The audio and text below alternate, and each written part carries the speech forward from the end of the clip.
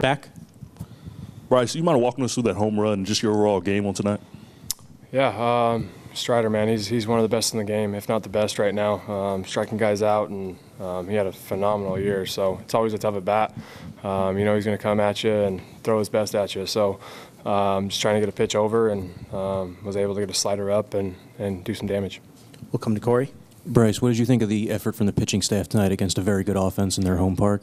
Yeah, I mean, you said it right. I mean, that's one of the best offenses in the game, um, you know, in their home ballpark. And for us to come down here and, and get one um, from us in the first one is, is huge. Um, you know, they're a really good team. And I thought thought our you know starter uh, Ranger threw really well. Thought he you know he's, he's a no heartbeat guy for us that goes out there and just he pitches well in big games. Um, and then our bullpen came in and and really did the job. You know, Sir threw great. Hoffman, um, big double play right there by you know Trea with Stromer, um, and then Alvey and I mean Kimbrel of course. So it was uh, really good.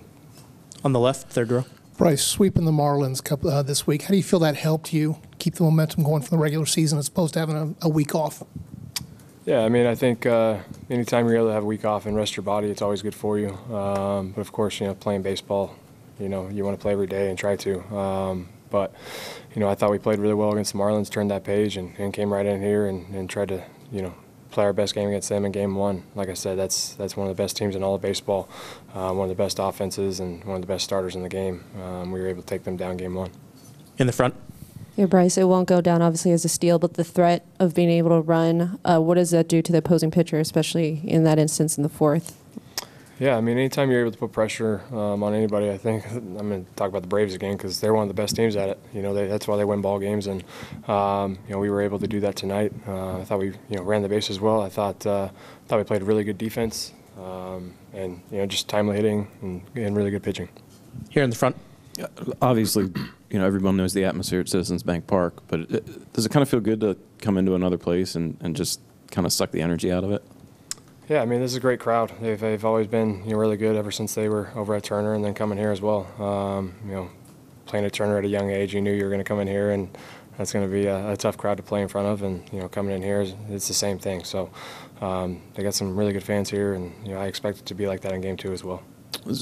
Speaking of that, what, what did you think when during that kind of eighth inning interruption out there? Yeah, just too bad it happened. That's about it. Any more questions for Bryce? Destiny in the back. What was going through your mind when you saw Rob go to the mound to take Ranger out, and was it a pleasant surprise, surprise that everything worked out the way it did?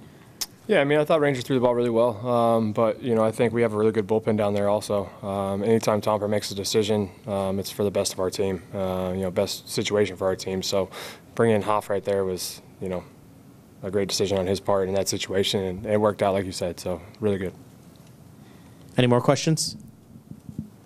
Great, thanks, Bryce. Cool. Thank you.